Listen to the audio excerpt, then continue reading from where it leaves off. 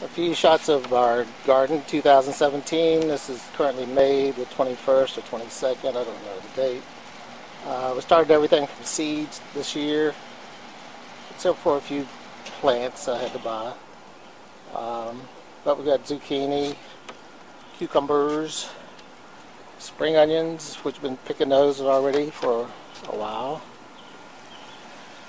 More cucumbers. Below them is some cherry tomato plants. You can see them. Over here is um, zucchinis. No, these are yellow squash. There's another pot there. Spring onions. Garlic. Uh, I had some garlic cloves in the refrigerator and thought I'd just shove them in the dirt and I got a big mess here. I don't know what I'm going to do with it. Uh, more cherry tomato plants. These are zucchinis. More cherry tomato plants. It's four pots.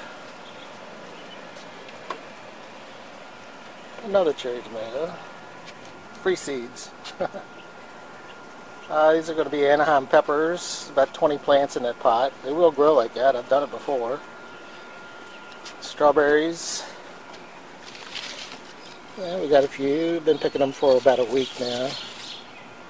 More strawberries. And if you look at the back of the garage, there's 11 strawberry plants hanging back there. Down here we have more peppers. It's like six different kinds of hot peppers in these trays from jalapenos to banana peppers and just about anything that you want. And more cucumber plants over here. And that pot way over there is cucumbers. And we'll get to that picnic table in just a few minutes. And the tomato garden back there.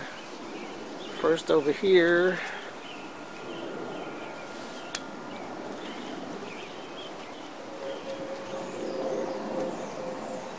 is more cucumbers. I have three different kinds this year. I don't remember the names, but I got the pots marked three plants in every pot. And it's like a straight eight and some cornica and some foreign thing. And I'm growing Brussels sprouts from seed here. I've never grown them before and I just wanted to stick them in the ground in about a week or two, see what happens. Over here, it's the green beans, spring onions, but there's another shot of the strawberry plants. They're doing pretty good this year. And over here we got green beans. I planted these way early thinking it wasn't going to frost.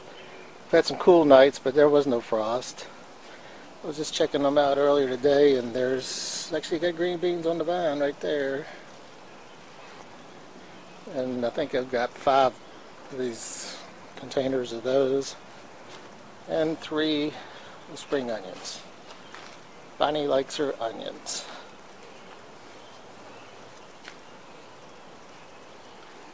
Oh, back here, it's got a mesh around it, so I'm not going to go inside right now, but it's like 30 tomato plants, five different kinds.